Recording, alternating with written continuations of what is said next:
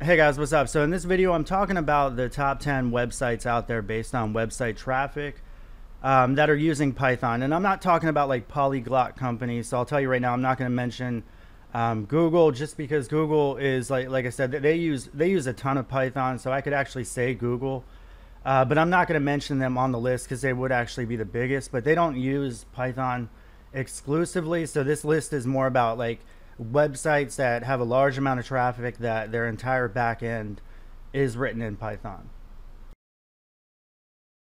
All right, guys. So number 10 on this list is going to go to Washington Post. This is one of the largest newspapers in the United States. It, it like competes with the New York Times and um, other major things like uh, Wall Street Journal. It's owned by Jeff Bezos at Amazon. All right, so number nine is going to go to Yelp, the popular business review website. One of the most popular, probably. I prefer TripAdvisor, to be honest with you, but uh, Yelp is, I guess, okay. All right, so number eight is going to go to Spotify, the popular music website. And also keep in mind that every one of these websites uses CSS, JavaScript, probably Bootstrap and Sass and all these other things that are out there. But um, we're talking about the backend server side technology stack. All right, so number seven is going to go to Dropbox, the cloud document company. So it competes with like Google Drive and uh, Box.com and a couple of the other things. But uh, this is almost primarily written in Python. They actually employed um, the, the creator of Python for um, a few years and lure, lured him away from uh, Google, actually.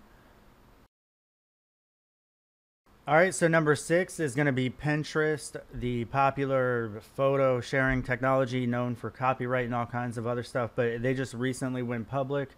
Uh, their stack was originally written in Django and then they moved off of that, but they're still all primarily Python.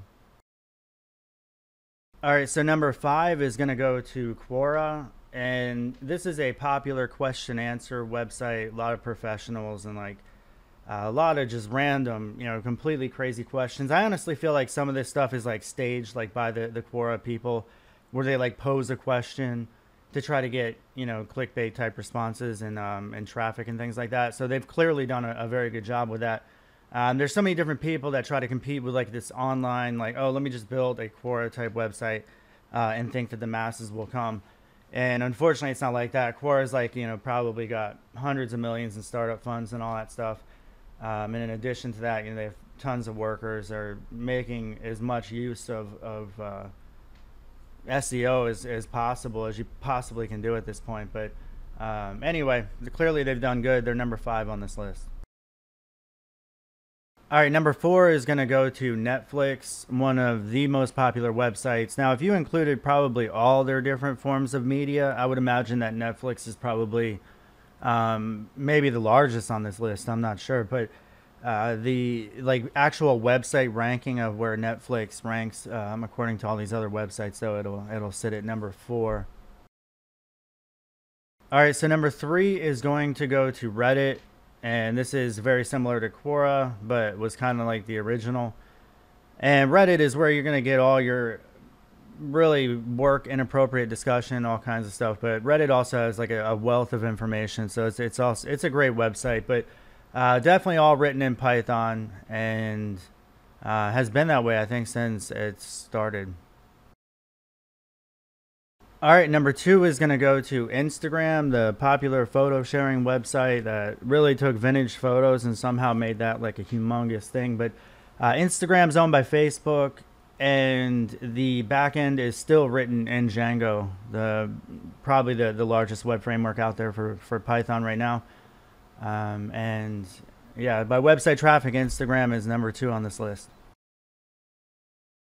All right, and number one on this list is going to go to YouTube. So YouTube is considered the second largest website in traffic volume, next to only Google. Uh, again, you could say Google is a big Python company. Uh, Google owns YouTube, but it is kind of a separate entity. And uh, the backend is mostly written in Python. So that's the largest. Instagram, again, is like number three, I think, in website traffic. And that is um, that's Python. So Python does really well with like a lot of really really large companies. Like even you know when I mentioned like Reddit and Netflix, I mean those are top 50 websites in the world. Um, so and then like at the bottom of the list, the one questionable item on this list might be Washington Post because I'm not really sure if the, if there's another spot that would get around 10 the 10 mark. Uh, but everything else should be pretty accurate, I believe, based on, like I said, website actual website traffic volume. Uh, but number 10 to Washington Post, I mean, they're probably ranked uh, top 200, 300 website in the world, somewhere around that. So um, there's probably arguably there's other Python sites that would rank higher than Washington Post, but probably not higher than the ninth item on this list. Um, anyway, guys, thanks for watching and take care. Have a good day. Bye.